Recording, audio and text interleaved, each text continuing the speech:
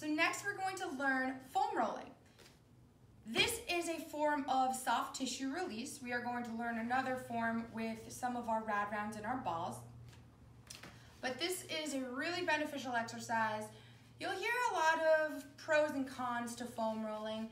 Personally, I like it because it feels good and it makes my body feel like I'm preparing for a movement. It feels like I'm getting my blood flowing and it's almost a little, um, a nice little intro into my movements for the day.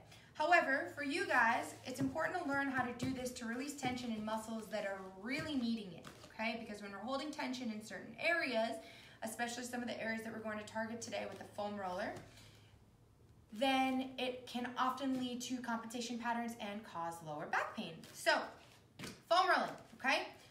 Start with our butt. I think that's the easiest place to start. So you're actually gonna take the foam roll and you're gonna sit on it, okay? And you can go on your hands and your feet uh, are touching the ground, okay? And now what I want you to do, you're right now in the middle of the sacrum. I want you to turn a little bit to the side, okay? angle to the side that you want to release. You're going to kind of roll into it. And I want you to make sure you're getting the entire butt cheek from all the way where it starts at your hip, okay? This is your iliac crest, all the way down to the bottom of the butt cheek, okay? The whole thing, making sure you're getting it. And I just want you to roll forwards and backwards. If you find a really good spot, you can hang on there for a little while, breathe into it. Imagine breathing air into that location where it's tight.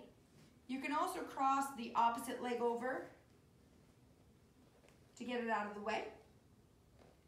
And the other option is to actually cross the leg that you're working on. And this, you're gonna wanna actually lean into your hip a little bit more. Is gonna help with getting into some of the rotators of the glutes in the hip, okay? We got deep six. They're all rotators of the hip. And we're just going to give them a nice little massage. I personally can't afford a massage therapist every single week, so it's important that I keep up with this myself to keep my pain in check. So we're gonna move over to the other side. Again, first just doing a normal back and forth, the whole butt cheek from top to bottom. You can go in little sections at a time and move down, or you can do the entire thing at once. But making sure you're getting into all the crevices and all the angles. There's no wrong way to foam roll. Anywhere you have muscle, you can foam roll. We just want to make sure we're staying off of joints, um, joint capsules, the back of the joint. You don't want to roll over the back of the knee. Here, we want to try to stay off of the sacrum, okay? So that bony triangle right at the top of that butt, you want to stay off of that, so side to side, okay? And then we can cross the leg over the same side that I'm working on and get into all those rotators of the hip there making sure you're getting all the way from side to side. What I like to tell my clients, you guys, is that imagine someone's coming in and they're gonna paint the walls of your house. You don't want them to miss a spot. That's exactly what I want you to think about when you're foam rolling. Don't miss a spot. Okay?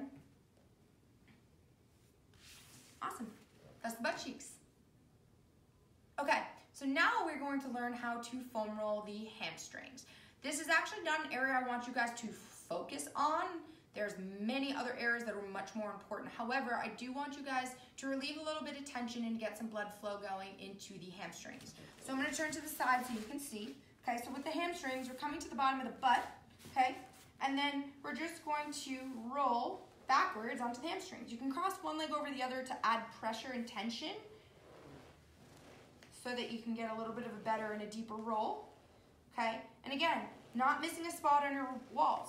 So I'm starting, kind of rotate it off to the side. I'll get the middle, and then I'll get the inside, okay? That medial inside, closer to the midline, that medial hamstring. And we'll move over to the other side, same thing. I'm just gonna start with the medial.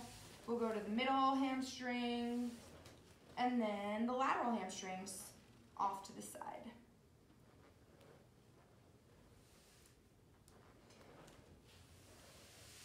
Great job.